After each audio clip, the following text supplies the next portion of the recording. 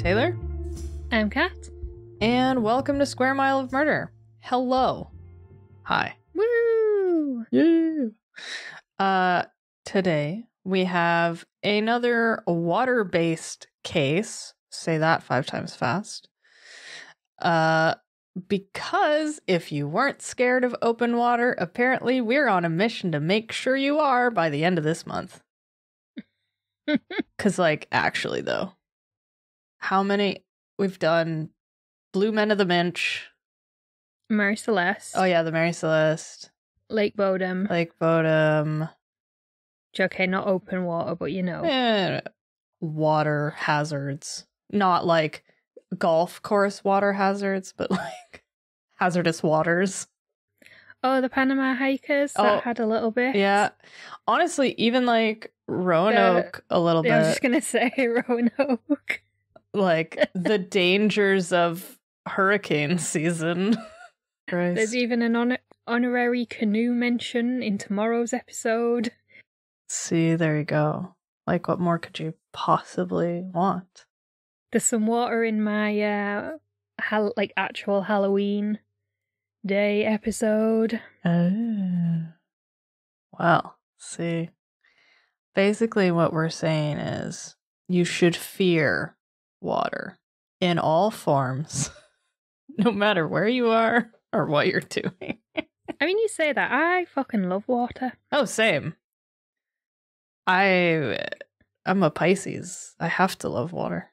Well, I'm a Cancer. We're both water signs. See, there you go. I'm literally my sign is literally fish. Mine's a crab. So yeah, we won't be we'll be brave and and enjoy the water for everyone else. Everyone else Yeah. just just pack it in. Just don't Yeah, even Be careful, wear like five life jackets when you even see some water. Yeah. You know, like those little arm floaties. That's what I recommend. That's how I learned to swim when I was like 3, like little Mm, inflatable arm floaty thingies yeah, like this. we had those. Nice pool noodle, security noodle. uh yeah, so we're just we're here to scare the shit out of you basically. Uh and today we are off on an adventure to a country that we haven't been to before on this show or in real life. I mean, I put that in the script. I assume you haven't been. Yeah, no. Fascinated by it. Will never visit. Horrified by it. Yeah, yeah, yeah, yeah. Anyway, you'll understand why in a second. Um a part of the reason we haven't been there on the show or or in real life or or I should say maybe in real life or on the show is because pretty much nobody goes to this country ever except for sort of like the dark tourist tourism crowd uh, because the country we're going to talk about is North Korea. It's a bit hard to get in and also to get out, is the thing. Yeah. So, you know.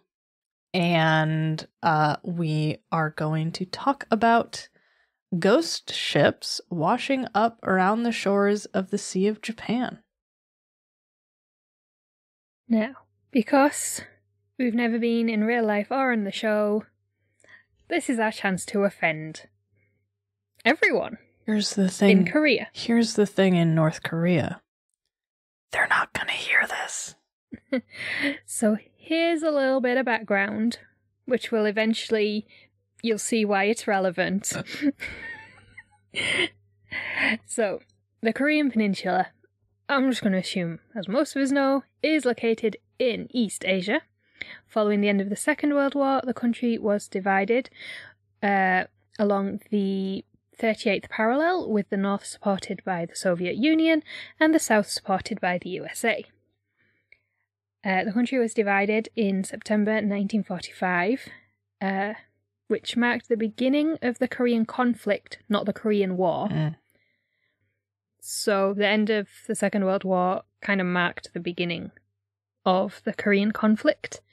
Technically, it's still going on, War broke out in 1950 when the North invaded the South, and an armistice agreement was brokered in 1953, which led to a ceasefire but not a peace treaty, which crucially still leaves Korea divided along the 38th parallel.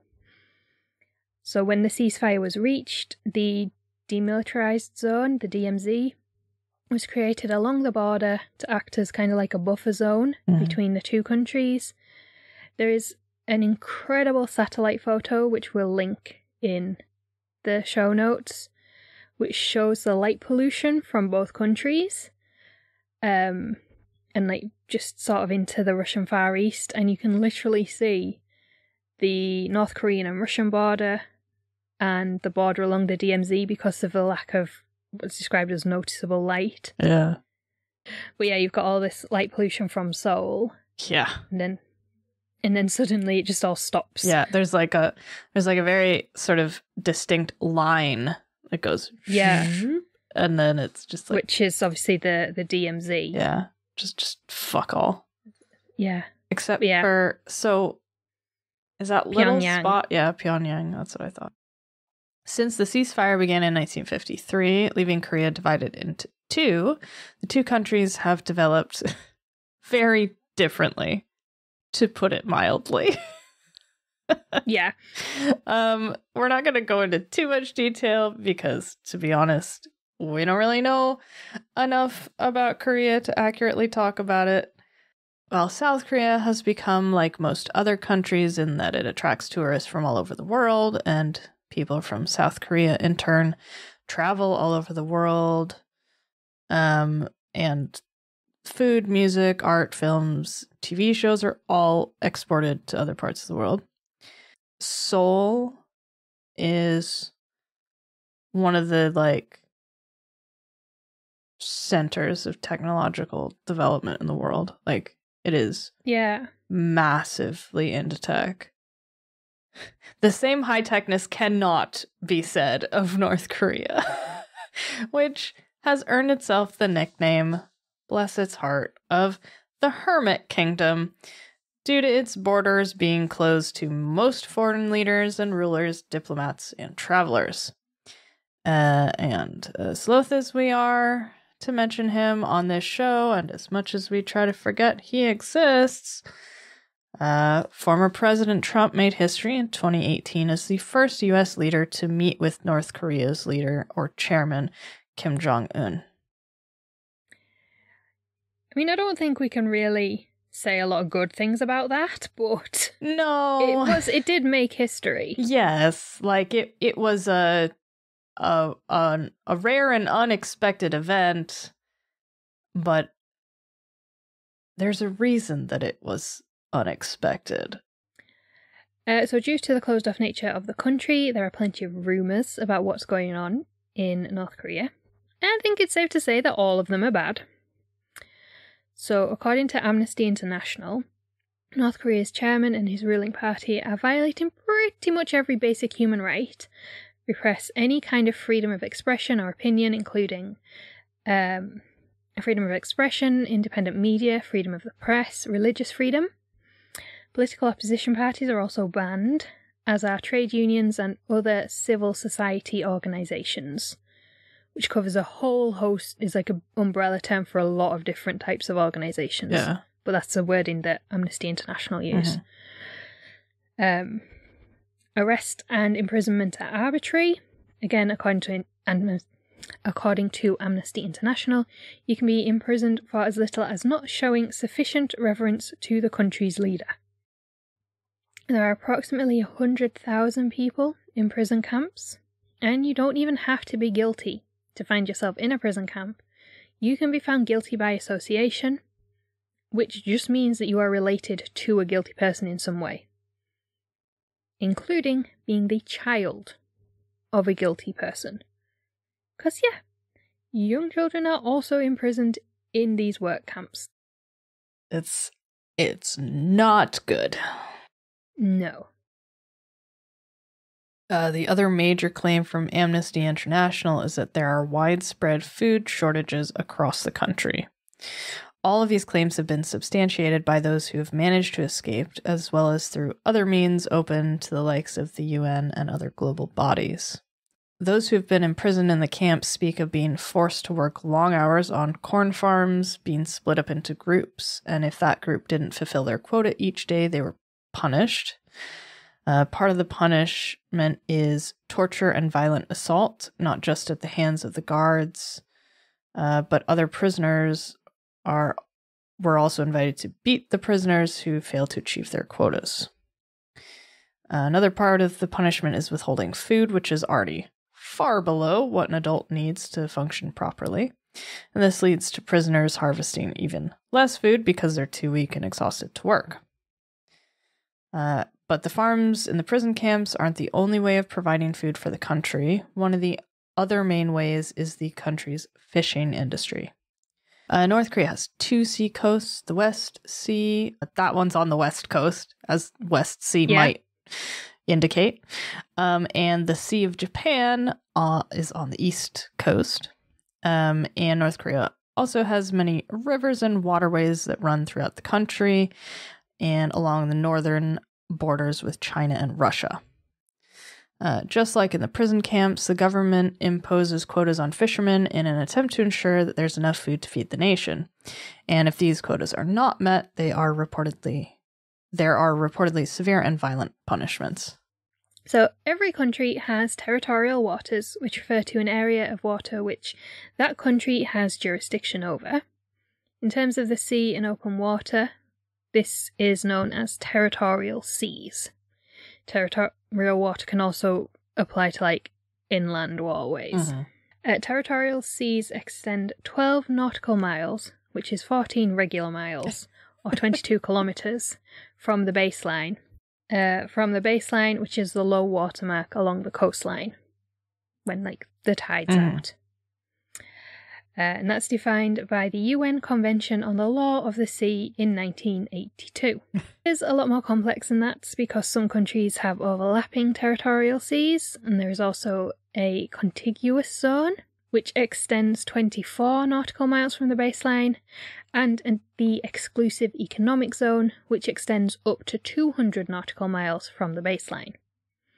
The country has special rights over its exclusive economic zone in regards to fishing and the use of marine resources such as drilling for oil. And beyond this zone is international waters. So, countries can sell fishing rights to other countries to fish in their territorial waters or extended economic zones, but there are UN sanctions on some countries, North Korea being one of them, prohibiting them from doing this. Mm. And you might be thinking, cool story, fishing rights and whatnot. When did this turn into a maritime podcast? I've already told you Well- this month. Yeah. Yeah. Yeah. Well, keep all this in mind because it will become relevant. Between 2011 and 2019, at least 656 North Korean fishing boats have washed up in Japan, uh, according to stats listed on Wikipedia, which have been collected by the Japanese Coast Guard. That's a lot of ships. yeah, Um, so at its narrowest point, the distance between South Korea and Japan is just 80 miles. Uh, but the distance between North Korea and Japan is like hundreds of miles. literally, hundreds of miles. Um, and all these boats are washing up at a rate, at an average rate of about 90 per year. Uh, anecdotally, we know that this has been going on for decades, just that there's no official data prior to 2011. And it has continued to happen throughout 2020 and 2021. We just don't know the exact numbers. However, we do have to note that the number may be overstated because each piece of wreckage has been recorded as a separate boat. So it could have been that a boat has been like ripped in half and washed up in different places and have been recorded as two boats, not just like two boat parts. Um, there are also reports of these fishing boats being washed up in the Russian Far East, mostly in the coastal area close to Vladivostok and Russky Island, uh, which is linked to Vladivostok by bridge. Uh, we haven't been able to find statistics for the number of boats wash, washed up in the Russian Far East, but that might just be due to the fact that Russia is also a reclusive country in terms of international relations, although not quite to the same extent as North Korea. Because that just takes an extra level of dedication. Yeah. Uh, side note Vladivostok is the second largest city in the Russian Far East, and it's where the Trans Siberian Railway terminates.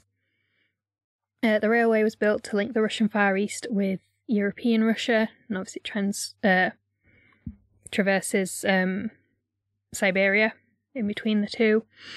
It is in the extreme southeast of Russia, and I think a lot of us, or possibly only me, somewhere in between, uh, tend to think of it as being like the extreme east and like where Russia Mm-hmm. ends. But the country does extend a lot further northeast to the point where it almost reaches Alaska, because Alaska was Russia at one Mhm. point. And that's where it shares a maritime border with the USA. Yes, it does.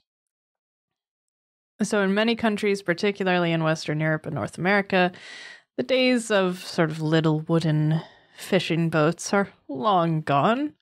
Um, these days, commercial fishing relies on much bigger vessels to fulfill their orders. There are, of course, small companies and local fishermen who only have small boats and relatively small catches for local shops and restaurants. But in the grand scheme of things, large scale commercial fishing requires large trawler boats that can handle many days at sea in bad weather. But in the case of North Korea, the fishing boats that have been washing up on the coasts of Japan and Russia are small, wooden, and in many cases in very poor states of repair. For a day's fishing a few miles off the coast, these boats would be fine. But for large scale commercial fishing, they are woefully under equipped. The boats are generally identified as being from North Korea due to their dilapidated or quote unquote primitive condition, as well as the writing on the boats, which we're led to believe differs slightly from South Korean script. North Korea does have fleets of fishing vessels, which are much larger and typically made of steel, closely resembling the fishing trawlers we recognize as commercial fishing vessels. But these are not washing up abroad because they are much more suited to fishing a long distance from shore. Whilst dilapidated wooden fishing boats washing up along the coast might not be an immediate cause for concern, you know, boats break away and wash up somewhere else. It happens, especially in bad weather. It's what is washing up with them that has garnered global attention. Whilst plenty of wrecks and abandoned boats wash up on shore, there are also many of the fishing boats from North Korea washing up containing the bodies of the dead crew members. Oh. So we don't have exact numbers because it seems that the Japanese authority have not released this information when they release the number of boats washed up each year. Although there is data for 2017. So 104 boats were washed up on Japanese shores. There are at least 31 dead bodies found on these boats, but also 42 survivors. Oh. On the boats where the crew had died, the bodies were in varying stages of decomposition. Uh, some were completely skeletal, suggesting they'd been floating for quite some time. Uh, and other boats, uh, the bodies were only partial remains, suggesting they'd been scavenged at some point after death. Some, you know, maybe only a couple of days after death. Although there are plenty of conspiracy theories to explain this, and we'll get to those at some point. now, it would be very easy to write these deaths off as, you know, desperate people trying to escape North Korea by whatever means possible, and there is a precedent for that. It has happened Yeah. before. These boats clearly aren't suitable for crossing the sea. But there is more to the story. There always is, isn't there? Mm. So, scholars from the Royal Institute of International Affairs have suggested that although there is a history of people using small wooden fishing vessels to try and escape to Japan, it's unlikely that all of the ghost ships are people attempting to escape. This is because South Korea is much closer geographically than Japan or Vladivostok, as well as culturally and linguistically much closer to North Korea than Russia or Japan. So scholars believe that defectors are more likely to head for South Korea. Uh, there is a lot of discussion over the use of the term defectors because North Koreans aren't usually fleeing because of political dissent, but rather due to the poverty and deprivation they have experienced. Uh, the other reason South Korea is the preferred country for escapees is that South Korea recognizes North Koreans as Korean citizens and allows them to stay, whereas other countries, including Russia, China, and Laos, will deport them back to North Korea as illegal immigrants if they're discovered. Uh, Japan and other East Asian countries, including Thailand, Vietnam, and Mongolia, usually deport them to South Korea, although obviously that's very simplified and there's a lot more to it than simply crossing the border into the country and being re- relocated to South Korea. So, another reason that those who are dying at sea on these ghost ships aren't likely to be escapees is that the fishing industry in North Korea is tightly controlled by the military. Precisely because otherwise it would be the perfect opportunity for people to attempt to escape. I mean, yeah. So I've tried researching this, but I don't understand exactly how the military controls the fishing industry. But what I do understand is that the military supervises the industry, with fishermen having to hand over their catch to whichever unit they're assigned to. The fish is then handed over to the military for distribution, beginning with military personnel, because there's a military first policy within the country. So sometimes the military are actually better looked after than the politicians. Mm. So recreational fishing is allowed, though. Uh, how it prevents people from trying to escape to another country once they're out on the water, let's say, we're not entirely sure. But the heavy military presence along the coast and conditions in the prison camps, I assume, would pose a massive deterrent. yeah. However, the fishing industry may be the reason behind the increasing number of boats washing up on foreign shores. Ew. Hope you're all still with us. Because I think I've lost the plot at this point. Uh, yeah. So, like, remember before when Kat was talking about territorial waters and exclusive economic zones, and we're like, hey, is this a fishing podcast? What's going on? Well, remember that because this is where it all becomes relevant again. As food shortages and famine have become more common in North Korea over the past 30 years, along with the increasing sanctions being placed on the nation by the UN, the government has reportedly been selling rights to Chinese fishermen to fish within the North Korean exclusive economic zone uh, to generate income. That being said, North Korea has not passed any laws defining its exclusive economic zone, which complicates things somewhat. uh, first, this breaches sanctions placed on North Korea that prohibit the country from, quote, earning foreign currency through the provision of fishing licenses to foreign vessels, according to an article by The Guardian. So, sanctions are being breached through the sale of fishing quotas to other countries, but another problem is the sheer number of Chinese vessels, known as dark fleets, fishing in North Korean waters, some with permits from North Korea and some without. So all of these extra vessels fishing in North Korea's waters has led to a to massive overfishing. Um, with an estimated half a billion dollars worth of squid being caught by Chinese fishing vessels in 2017 and 2018. That's a shit ton of squid. Yeah. Um, so, with less fish in the sea, quite literally, North Korean fishermen are being forced to travel further and further out to sea to find enough enough fish to fulfill their quotas. In boats that are nowhere near equipped enough for such long journeys on rough seas and like in bad storms that you get when you're way out to sea. Mm-hmm. So, unable to compete with large industrial fishing trawlers, North Korean fishing fleets have been heading further north and into Russian waters, where they're now fishing illegally. uh, but unlike these big Chinese trawlers, the small wooden boats that are typically used by the North Korean fishermen just can't survive these harsh conditions and long distances required to find enough fish to fulfill their quotas. And this has led to boats becoming damaged and, you know, unsaleable, which I don't think is a word when you're on about sailing a boat. yeah. but they're just not seaworthy. Yeah. And eventually they're washing up on foreign shores. So that is the official story of North Korean ghost ships. There's more to come. Oh god. Don't check out quite Oh yet. god.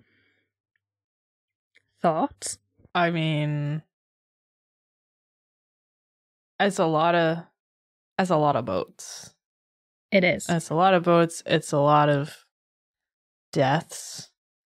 Yeah. Um, in an like, in an already, I'd say like high mortality area.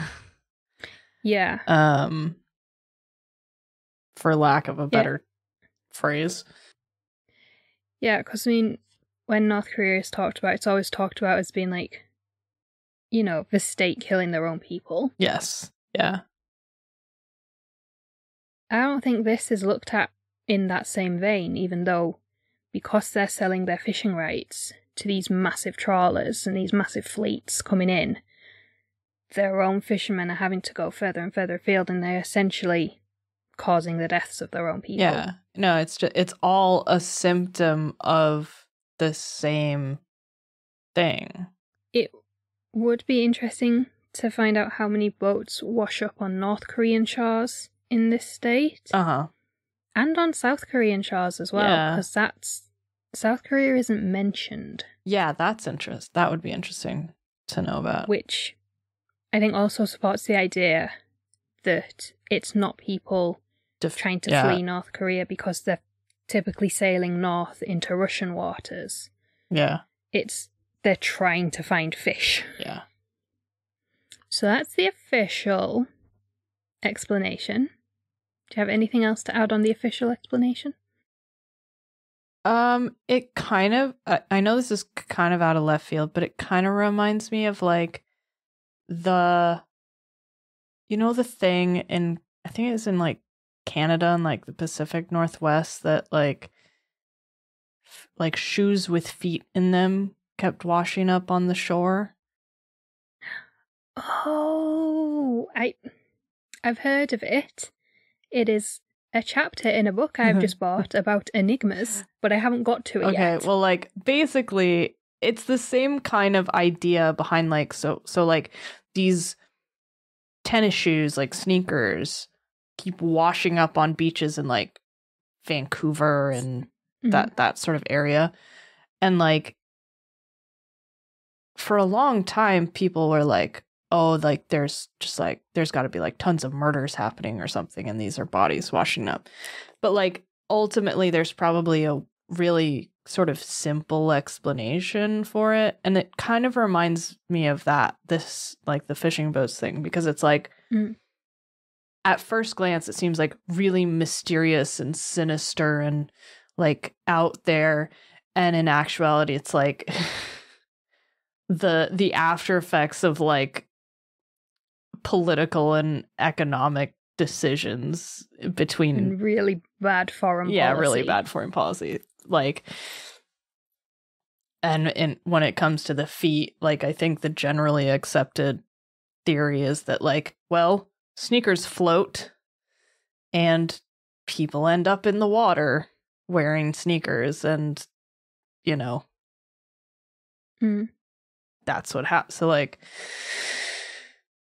yeah it's one of those things that seems really really crazy until you stop and kind of think about the possibilities and it's like oh yeah okay Yeah.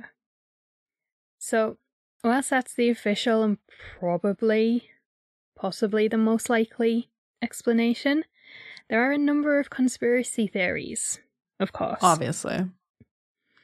uh, which go along with this. Is phenomenon the right word?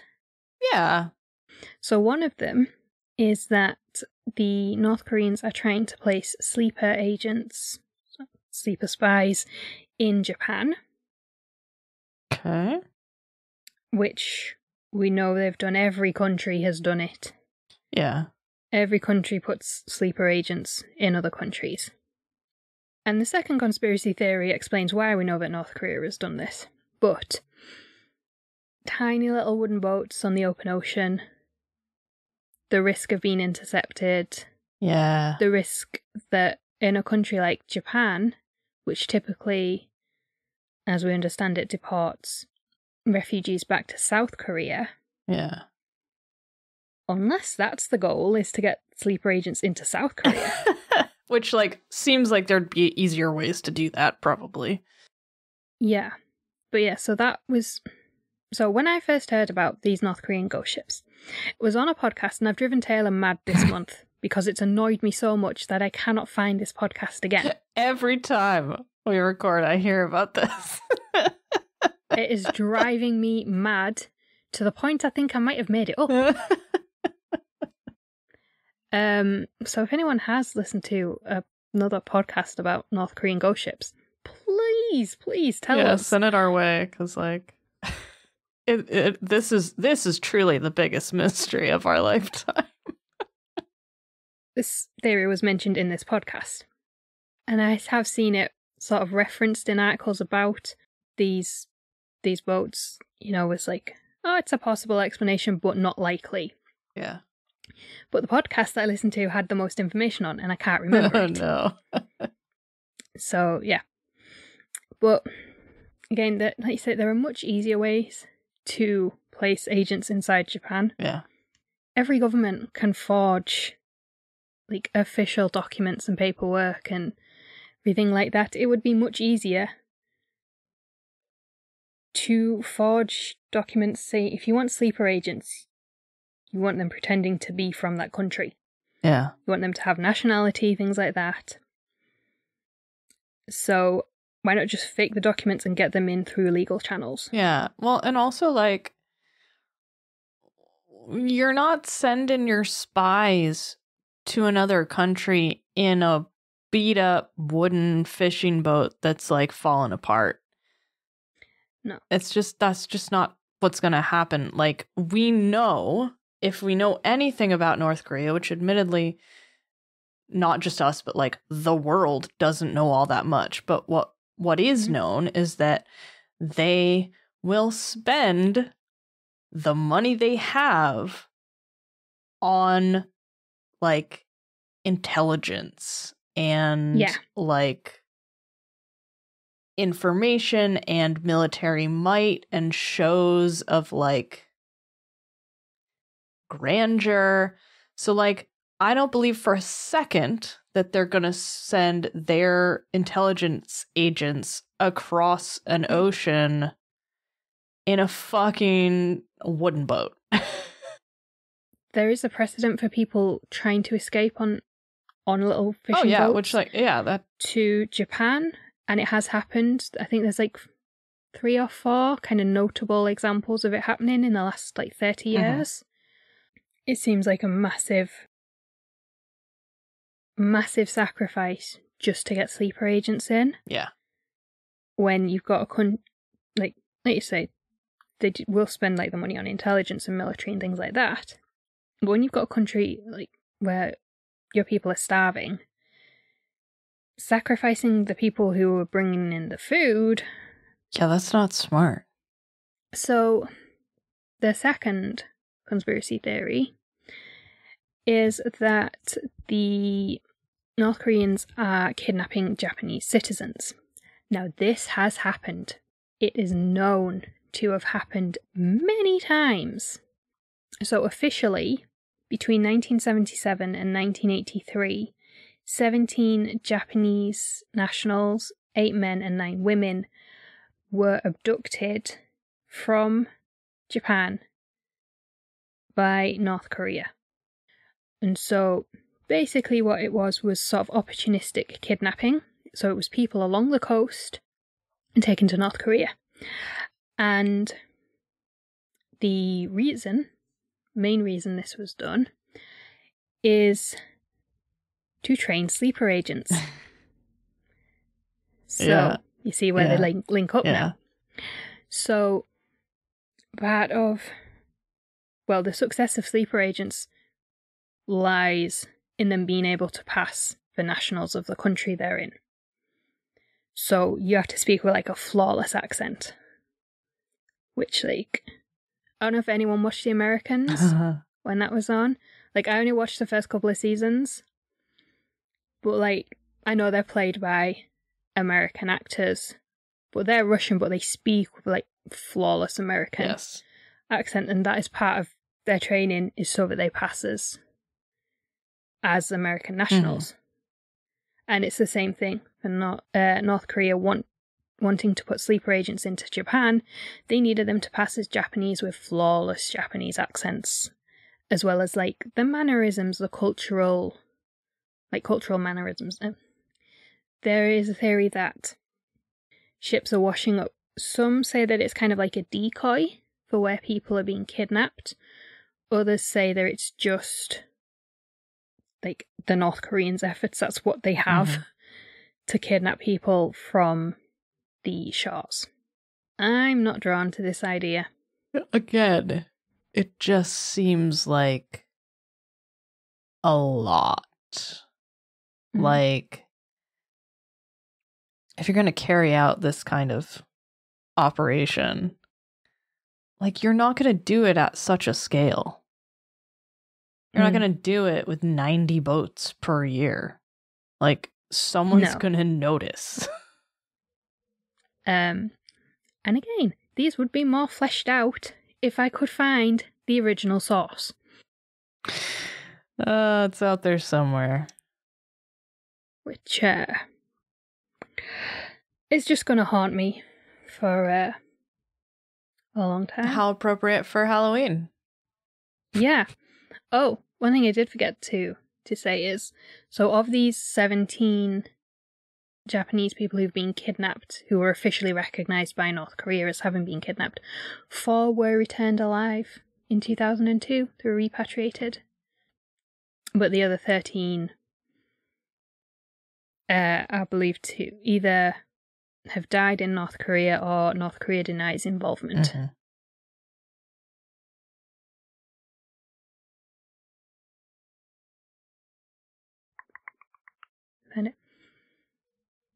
Yeah. There are other reasons for people being kidnapped. Uh when I say people I mean women. Well, yeah, of course. Yeah. So Japanese women were abducted to be forced into sex slavery essentially. Um because I refuse to say to be, you know, become wives of this this group of people or that group of people because that's not what happened. If you are forced into it, it is technically sexual slavery. Yeah, It's that's No. human trafficking. Yeah. Um, because yeah, that's one of the reasons it's given is that uh, they're abducted to become wives of a group of North Korean-based terrorists. Yeah, no, that's That's human trafficking and sexual slavery. no. nice try, but no. No. Um, especially when one of the youngest uh abductees was thirteen. Yep. Yeah, that's it. Yeah. Nope. Um, but yeah, so they're the most like the two. Well, they do overlap a lot, but the two main theories as to as to why these boats are washing Mhm. up. Um, like I say, to me, I think they sound they both sound a bit of a stretch. Yeah, I agree with that. The like I say, the abduction of of Japanese citizens we know is fact and has happened, but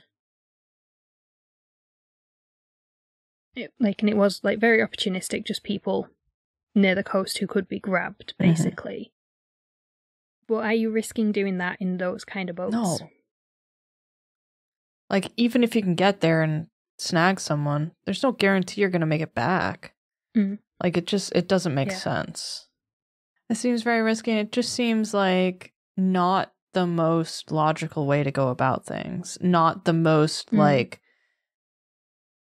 sneaky way to go about, like, uh, uh, just like, there are better ways even for And for a place as sort of like backwards in a lot of its thinking and technology as North Korea. And also, just thinking, if you did try and do that, why would you have markings on the boats that could identify it as North yeah. Korean? No, totally. Like I yeah, I think it's the fishing. Yeah, as much as we love espionage, I don't think it's anything to do with no, spies. not this time. Um, Nor unfortunately for the season, actual ghosts. no, A shame really. I think that is all we have to say. Yeah, I think so too. If you've heard of the podcast I'm trying to think of, please tell me what it is. Um, let us know your thoughts. Is it uh, fishing or espionage? Or something else entirely. Ghosts. Oh, I thought you were going to say Yetis. aliens. What sea yetis? Yeah. Oh, didn't we just have this discussion about like we know nothing about what's in the ocean? We did. So, sea yetis, Mary Celeste. Hmm. jumbo squids, and sea yetis. Well, it is a squid fishing region. See? Thank you for listening. We will be back tomorrow with yet another uh, Halloween episode. Oh, yes. Tomorrow. There's an honorary mention, I believe, of a boat, Oh, yes. but nothing to do with the sea. No, amazingly enough. So, yeah. So, yeah, we will see you then. yeah. Thanks for Thanks, listening. guys. Bye.